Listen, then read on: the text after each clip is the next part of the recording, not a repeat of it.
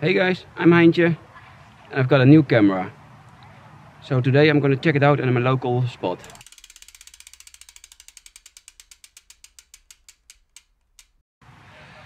So the new camera I've got is this Insta360 One X2. It's a 360 camera, so it can do a lot of cool effects. And today I'm gonna test it out. What cool things you can do with it. But first, let's do a course preview with the old, old familiar GoPro.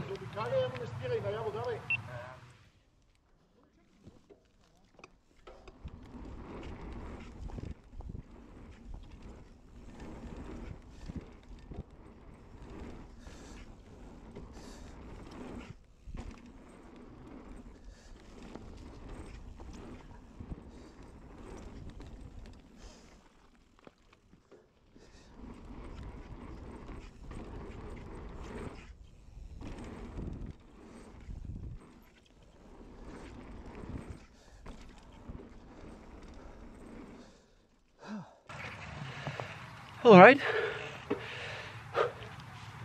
Nice to have some kids sitting on, on the track.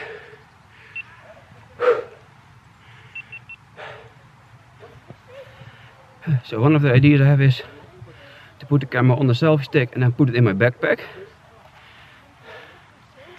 So it's floating somewhere above me, which looks really silly.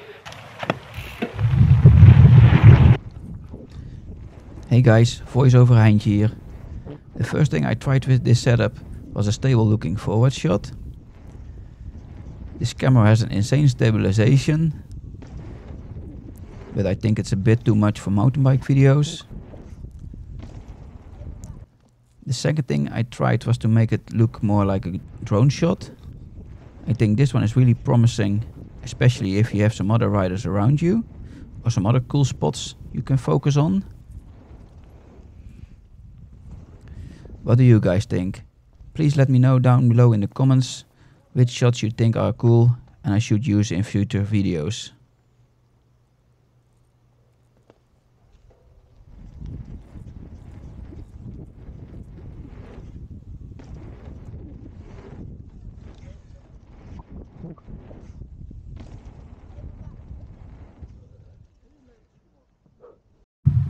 So another idea I had is to place the camera on my handlebars. I hope this would give some cool angles.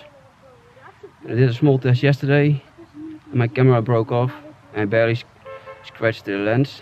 Hopefully you don't see it in the footage. So let's do first a couple of runs with the cover on it so I don't damage it.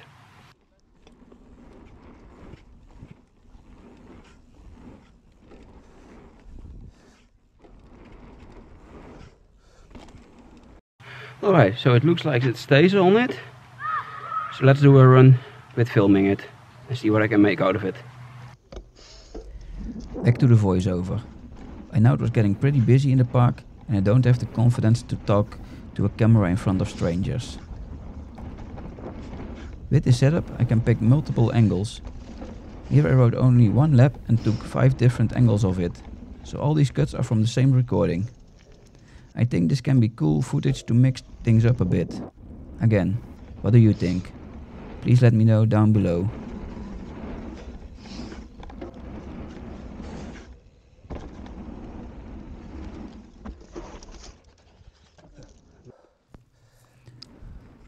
Now let's go for the pump track.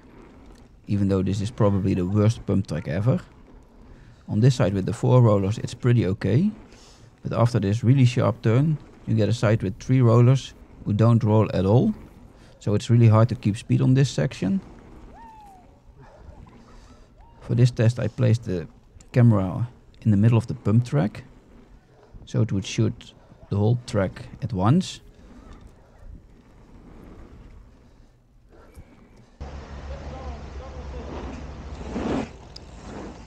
What I did here was create two clips with opposite angles in the 360 Studio app which came with the camera.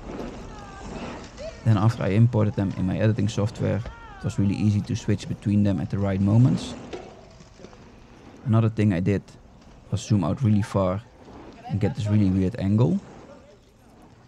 It's a fun shot, but it's really hard to see what's actually happening. So I give you a few seconds to figure it out.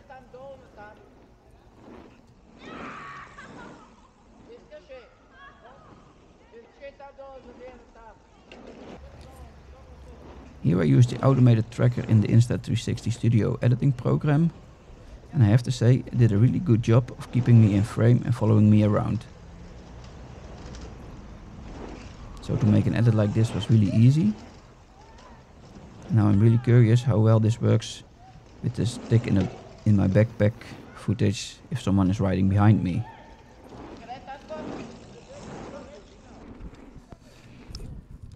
Now I went for a ride in the bowl. You can ride on forever, or at least until you get dizzy.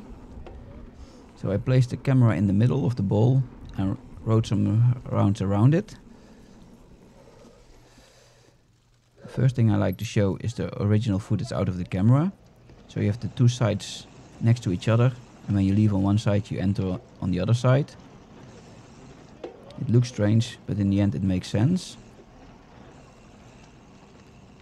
Next thing I want to show you is the automated automated tracker.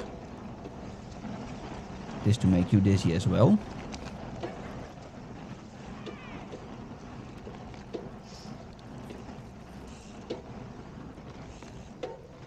And the last thing is really top down view, pretty much zoomed out with this really weird effect. Not sure how I can use it, but it sure does look funny.